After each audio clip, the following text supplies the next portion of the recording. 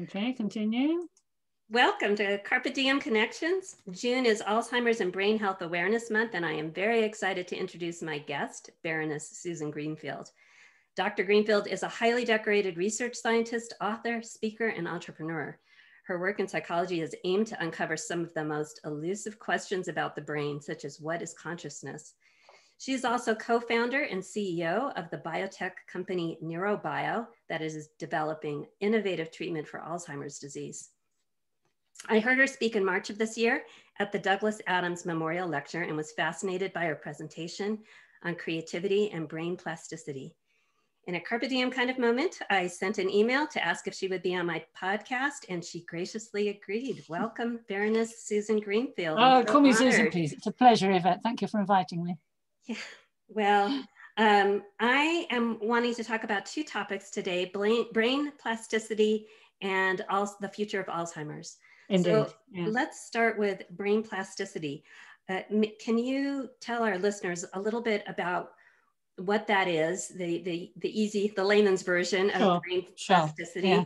Yeah. and why it's important for our brain health? Okay, so let me start by saying um, what it's not is that the brain is made of plastic, of course. people often confuse this. It comes from the Greek plastikos to be molded, um, capturing the very essence of um, what uh, the, the material derives from, which is changeable, and the fact that you can leave impressions on something, you can mold it. And in our case, in the human case, our brains are molded very much by the environment. Um, so we occupy more ecological niches than any other species on the planet, not because we run fast or see well and we're not strong, but what we do is that we adapt to the environment superlatively. Other animals will do it to greater or lesser extents, depending on how sophisticated they are in the evolutionary frame of things, but we do it very, very well, um, which is why we flourished so much. And what it means is that although, of course, genes play an important part in uh, our abilities and who we are and so forth, actually, even if you're a clone, an identical twin, you are still a unique individual because you have unique experiences. Whereas to be brutal, you can't say the same about a goldfish, can you? Let's, let's be honest, they don't have great personalities or great individuality. And the more individual experience you have or your um, uh, place on the uh, evolutionary scheme of things allows you to have, um, the more you have the potential for being a real individual. Yeah. So it's new experiences that build this plasticity, it sounds like. Yeah. Is that right? Yeah. So and what happens? Um, is even compared to chimps, our nearest relative, the growth of the human brain after birth is astonishing. And what accounts for the growth of the human brain after birth is not so much the proliferation of large numbers of brain cells, but more the connections between them. Yeah. So why that is important is that it's the connections that enable you to relate one thing to another, to understand something. So a very simple example I like to think of is um, imagine you showed a wedding ring to a small child or an infant, they might be interested in it because it's gold and shiny. They might try and put it in their mouth, they might roll it. But that object, it won't mean anything to the infant, it wouldn't mean anything. It's only gradually, because they're humans and they're good at learning, they learn something goes on fingers and then they learn a gold shiny one only goes on a certain finger and then they learn that it only goes on a certain at a certain time in life when you're when you're married. So they will learn that if they see someone with one of these things, that it says something about the person, it has a significance. And that significance is not possible to extrapolate from the object alone, from the physical properties alone. Yeah.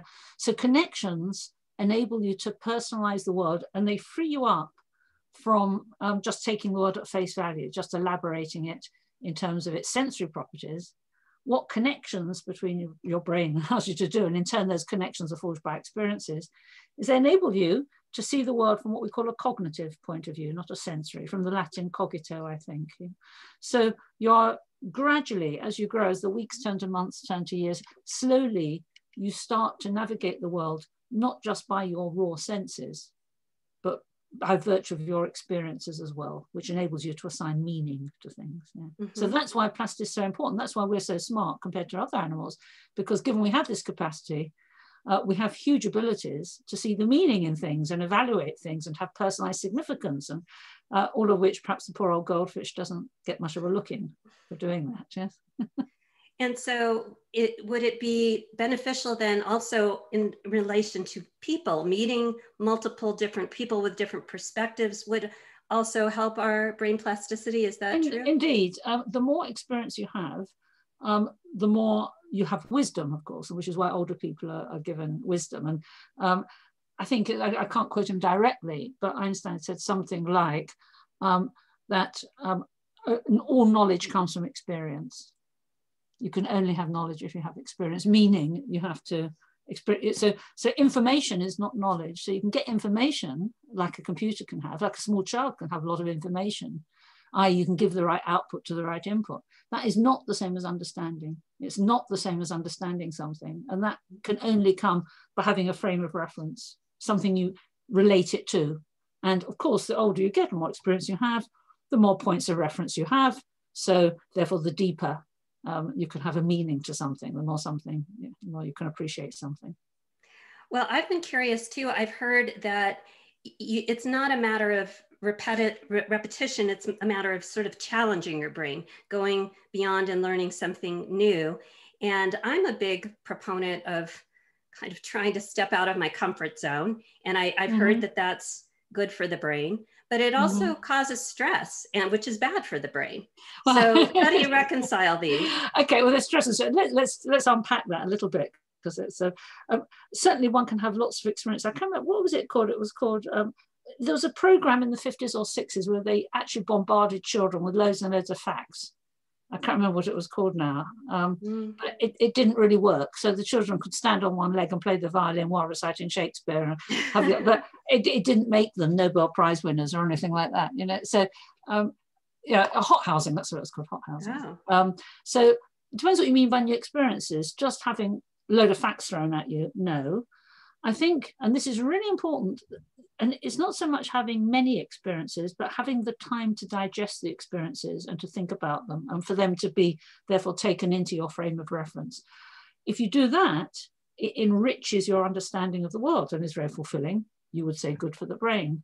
If it comes fast and furious, and you don't have the time to put things into a framework or to relate one thing to another, of course it would be stressful. Let's take a very crude example, that riding on a roller coaster. Do you call them roller coasters in the States? You know, mm-hmm. switchback. Yeah, yeah, roller coaster. Yeah. So you're having an experience there and it's coming fast and furious, but you're not having time to incorporate it into your frame of reference, to think about it. You're just being bombarded and you're, because you're frightened and it's bordering on that. So I don't really think that new experiences per se are what you need, but you want, yes, of course, opportunities to have the chance to have new elements into your existing framework, your existing way of seeing the world. Yeah, so in moderation, but in and of itself, a new experience, as ha- happened with the hot housing, I don't think is going to be a huge benefit.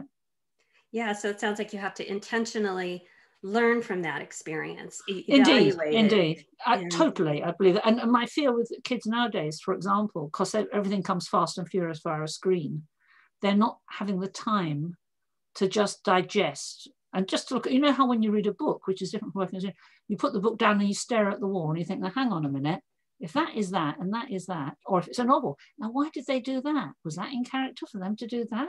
That's a surprise. And you have chance to go at your own pace and you are driving it because you'll then go back to, whereas I fear that when you're online or with computers, it really does set the agenda and set the pace and you're playing catch up all the time and you're not really having the time to get together your own frame of reference. Yeah, taking that reflection time to. Really That's right. That's right. Yeah. So, um, well, let's switch gears a little bit now and talk about Alzheimer's. So I do yeah. want to um, tell you that I am next week interviewing somebody who has been diagnosed with, I think it's mild cognitive impairment, impairment yeah. and that his doctor, he's he was 54 when he got his diagnosis, and his doctor um, gave him some grim statistics and said, if you have a bucket list, it's time to start oh. executing.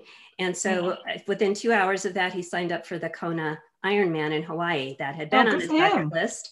And yeah. we, um, and uh, you know, that's all my motto, carpe diem, you sure. know, don't wait till you're no, no. So you're too old to to to do to live out your dreams. So he he signed up for uh, an Ironman. He's one of the top fundraisers for Alzheimer's. Um, and I asked him if there was anything that he would like me to ask you mm-hmm. about mm-hmm. Alzheimer's. What he wanted to um, ask first was about an extreme lifestyle. I mean, when doing training for an Ironman, it means yeah. okay. yeah. Um, okay. really, you know, mm-hmm. optimizing your diet, your exercise, your sure. sleep, and your ba- brain engagement. He's he's doing it all. Yeah. It it is is it likely will he be able to stop the uh, the Alzheimer's prognosis through this okay. type of a lifestyle? Sure. Okay. So first, I'm not a clinician, and I certainly can't comment on his individual case, even if I were. But what I can say is he's doing exactly the right thing by strenuous physical exercise, because we do know that physical exercise has so many benefits. Not least, it does enhance cognitive impairment. You, you, you not you can enhance cognitive effect. You can see in older adults, there's studies of those that don't do much exercise and those that do. And those that do do the exercise are much better at cognitive tasks than those that don't. We know that running, for example, enhances what's called neurogenesis. That's to say, even when you're an adult, the birth of new brain cells, new neurons. Yeah, that's the good news that he's doing exactly the right thing by taking a lot of physical exercise. Also, I don't know, of course, know what weight he is or what size, but we all know the benefits of exercise for the waistline. So that's and the heart and your body generally. So it's a win-win. Um, the bad news is at the moment, nothing is known. I can come on to what I think could be done, but nothing is known at the moment. Nothing is available at the moment that will reverse Alzheimer's or actually stop it. Right? Now, that's the bad news. Um, there is a drug that's just hit the headlines only a day or two ago from Biogen, um, which claims, and I stress claims, to slow things down in the early stages, but just slow things down. And that nonetheless is still quite controversial, I think. Yeah. Um, my own view is that we need a fresh approach, which is what, in all honesty, I think we try and do in, in, a, in, a, in my little company. We're trying to have a completely different approach. So I'd like to say to him, we are on the case. You know, it's not a hopeless cause. We are, a lot of us are working on trying to uncover what the actual mechanism is. For the moment, it's not available, um, but it, it's in the foreseeable future. You know, one can imagine if with a fair wind, for example, in our case, uh, we have a drug that we think is a prototype that could work. It has to go through all the regulatory phases before it can be given to a person. But that is what two years away, and it's not a long time away. You know, yeah. um, and then so it's within a reasonable time. It's not some fantasy. But by the same token, things aren't available at the moment. But what he can do is lots of exercise and to stimulate his brain as much as possible because it's like a muscle. You know, the more you use it, then the less chance you have of losing it. So I always like to say, not things like quizzes and, ex- and brain exercises because they're boring. No one really, well, sorry to be rude, but you know, no one wants to just sit on their self doing Sudoku. Much better, you get out, have arguments with people. I think that's a great thing to do, not emotional ones, but have debates and discussions and engage in debates and discussions. And I think that kind of mental stimulation where you're mixing with other people, you're building up something called cognitive reserve.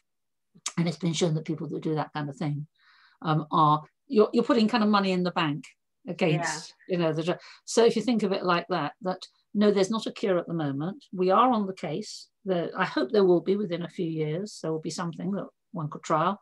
But meanwhile take lots of exercise mix with as many people as possible socialize as much as possible have arguments go dancing lots of physical activity and interaction. But then, as you said, that is that's carpe diem anyway. That's what you do for you know. That's that's that's living life. I mean, that's yeah. just live your life to the full. Yeah. Yeah. Uh, but some of us like to do that more than others. I love an, a good argument, so I'm glad to hear that. That I will tell my siblings. you know, this is the brain health here going. So. Exactly. I love it. I love it. That was the advantage of being an academic before I became a, a, a run a company. Is that of course you thrive on discussion and debates, mm-hmm. you know, mm-hmm. both in college at high table and also in tutorials with your students, you know, is in endless, endless dialogue. You know, yeah. that is the most, as someone said, it's better to ask some of the questions than know all about all of the answers. Yeah, absolutely. Yeah. Well, I'm, I'm excited that there are some, some things on the horizon. I know mm-hmm. for people that are in the midst of this, it's got to be a just terrible, scary, scary. It's frightening thing. and um, it's scary because it's, it's, it's striking at the heart of you or you're mm-hmm. perceiving it as that you know whereas things like cancer and heart disease are of course terrible diseases you know you can still look at photos of your grandchildren you can still you know, do things with your loved ones. And I think that's what people fear. But what I will say back is live your life as fully as you can. And we are trying, you know, I, I can't stress enough. Look at our website, neurobio.com. Yeah. I hope they think there's other companies like us that are, are trying very hard. Yeah, well, we will will uh, keep our, mm. you know, I, I, am amazed even in this past month since it's Brain Awareness Month, how mm. much I've been reading about it and how much I wasn't aware of things that uh, you can do that we can physically do. It's not yeah. just a set in no. stone that this is. well, is. As in life, you don't just give up. You never yeah. give up. Yeah, you know, so. you, all of us. I mean, you're right, Yvette. How do we know we're going to live tomorrow? You know, we, we don't know. We could go under a bus. You know, so you have to live your life to the full anyway. Right. You have to make the most of what you're doing anyway. Well, one other thing though, I know I've, you know, I hear over and over again diet, exercise, sleep, socialization, and learning. Yeah. What about attitude? This is, um, you know, I have heard in many different situations, including mm-hmm. aging, that those people that are optimistic about aging are sure. going to age better than those that are afraid sure. of it. Yeah. Um, well, one of the one of the best things that you can do is laugh. There's, there's some rather strange sounding things which sound a bit artificial, laughing classes or something. Which yeah, I know. That's the point of the exercise. I can think of nothing. Must, well, anyway, not don't want to knock it, but I'd much rather go down the pub with my friends and have a laugh, you know. Um, but we know that laughter, and uh, there's a very old quote from several hundred years ago saying, you know, um, a, a, comedian or a joker, you know, has more benefit, someone that makes you laugh, more benefit than a load of physicians with their asses and their things. So, you know, certainly um, laughing and being happy it releases endorphins, mm-hmm. yeah, slows your heart rate, exercises your lungs if you're laughing. We all know you have a good. I remember how it's like when you're, you're laughing so much you cry and your face mm-hmm. hurts. Mm-hmm. You know? Yeah. just uh, um, that has to be beneficial. So it's a question of finding scenarios where you can put yourself in that situation. Certainly, I think from what I gather from my mum in the Second World War, that's what kept them all going. Mm. You know, in London, she was in London in the Blitz and, and had to sleep and you know night after night in the subway and you know get up and you didn't know if your house was standing, but they got by by just all being together and laughing and making the most of things and just carrying on. Yeah. So another key, it seems like, to brain health is yeah. having positivity and and humor in your life and oh completely. um, completely. so that kind of put it the other way stress is a very negative thing. Stress right.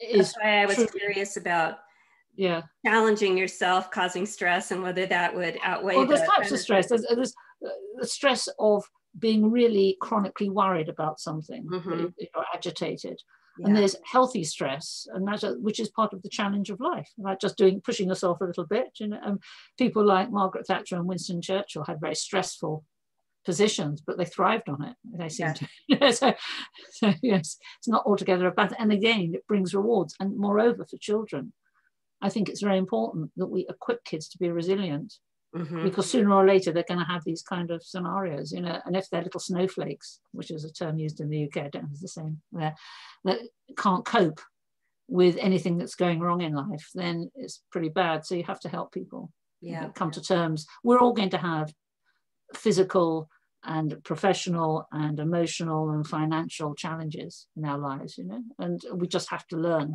how to make the best of them, how to cope. Yeah, and as we were talking about before, that's part of what experience gives us when we totally, encounter totally. hardship. Yeah. How do we overcome our challenges? We exactly. Yeah, yeah so, exactly. But yeah. Um, this also kind of leads me to a question I have around Alzheimer's and the knowledge by, you know, with 23andMe, you can determine whether or not sure. you have a, a, gene that makes you mm. more susceptible perhaps to Alzheimer's. Mm. And I myself have been debating about would the the stress of finding out that I did have the gene be worse for me than not knowing and just saying whether or not I have the gene, I want to do everything I can to have a healthy a healthy brain. Yeah. Okay, so let, let's think about that because there are certain conditions. For example, there's one called Huntington's chorea, which is another neurological disorder, uh, which presents with the person with wild involuntary flinging of their limbs in a kind of grotesque form of dancing, hence the name chorea, because it comes from the Greek to dance. Now that relates to a single gene, a single malfunctioning gene, and you can find out if you have that gene or not, and so on. And that might uh, guide your decision whether you want to have children or not, for example. Yeah. Mm. Um, now that would be valuable, and it relates to a single gene. That is not the case with Alzheimer's. There's no single gene for Alzheimer's. There seems to be many being discovered all the time, but given very few people seem to buy into it, although I think that one can identify the basic mechanism of neurodegeneration. Until you do that, you can't look at the genetic basis properly. You can only look at the various downstream products and how that might relate to genes. So even if you were to find that you had a predisposition, it would be just that, a predisposition, and you wouldn't know what your chances were anyway, because there's many genes you know, involved. Mm-hmm. So how would it help you? What would you do that you're not doing now if you knew? So uh, worry. exactly. So my own view is um, that you know, to have putting genes and me out of business or anything, but uh, uh, but unless you can take preemptive action or it would help you mm-hmm. some way, I can't truly see why you'd want to do that. But you know, obviously, if, if people want to, that may be you know, finding out their heritage and all those sorts of things. But right, right. Um, There's yeah, a lot of but, other things. Yes, a lot. I mean, I've done my heritage and seen I've got long lost relatives. Yeah, we've all fascinated by that. But um, but that's very different right. from as I would say for Huntington's chorea, yes, that, that would give you a very clear indication of something. But for Alzheimer's, it would be very hard to interpret, I think, mm-hmm. how you are. Mm. Okay. Yeah. Interesting. I think I'm going to choose not to um, and no, just continue to spend money on buying yourself a nice drink or meal with your friends and keep debating. Yeah, yeah, yeah. So much better. Go on holiday with the money instead. I think yeah. much better. Yeah. So, uh, one final question. This yeah. this podcast is called Carpe Diem Connections, and it's about living fully and fostering mm-hmm. deep social connection. What would be your um, advice or your interpretation of living life fully? How how would you? Okay, I, I think um, it's developing a life story. I, I think that all of us have a sense of identity, and if we don't, we're in pretty bad shape. And I think a lot of the screen technologists for younger people, I think they're suffering because they have a rather fragile sense of identity because they're just in the moment in front of a screen. So you say then, well, how do I develop my own life story and hence my own identity? Because again, as Einstein said, um, only an individual can be truly creative in any way. So to develop a life story, what you need is not just to multitask and live in the moment. You need to have a past and a future. You need to have a, a beginning, a middle, and an end, hence a story. And the way that that can be done, I think, is by, I call it sequencing. That's to say you don't do things all simultaneously, you don't multitask. Yeah?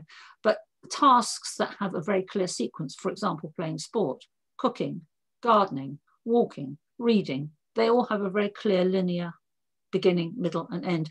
And I think the human brain chimes with that perfectly because that enhances the thought process itself, because that's what thinking is. The difference between a thought and an emotion is emotion is just in the minute, in a moment, you know, a dog will bark or a cat will meow, a baby will cry, you will scream. But a thought, A equals B, B equals C, so A equals C, you've ended up in a different place to where you were. And how did you get to that different place? By a sequence of steps. And that was in a time frame, had a beginning, a middle, and an end. So I think it's very important. And the secret of it is to do things that the plasticity of the brain, we come back to plasticity, um, because of that, because you're doing something like gardening or walking or cooking or eating together, but you're having a story or you're reading, but all of this will enable the brain to become good at having a sequence, of beginning, a middle, and end, which means it'll be good at thinking. If you're good at thinking, then I think that would be the ultimate goal for all of us to be good at thinking. Well, I, I, I love that. I, I love to think. I'm sort of an overthinker, so I. Uh, so yeah. again, you've validated my overthinking and my arguing and all of that kind of. Yeah. yeah. I, um, again, I'm just so honored that you made the time to be here. It was my pleasure. Thank you for inviting uh, me. Yeah. it, it is um, going to go down in my story as a highlight. And I, I'm Yes. So thank you okay. again. Um, My pleasure. And uh, stay strong and be well. Take care. All the best. Have a great weekend. Bye bye. Bye bye.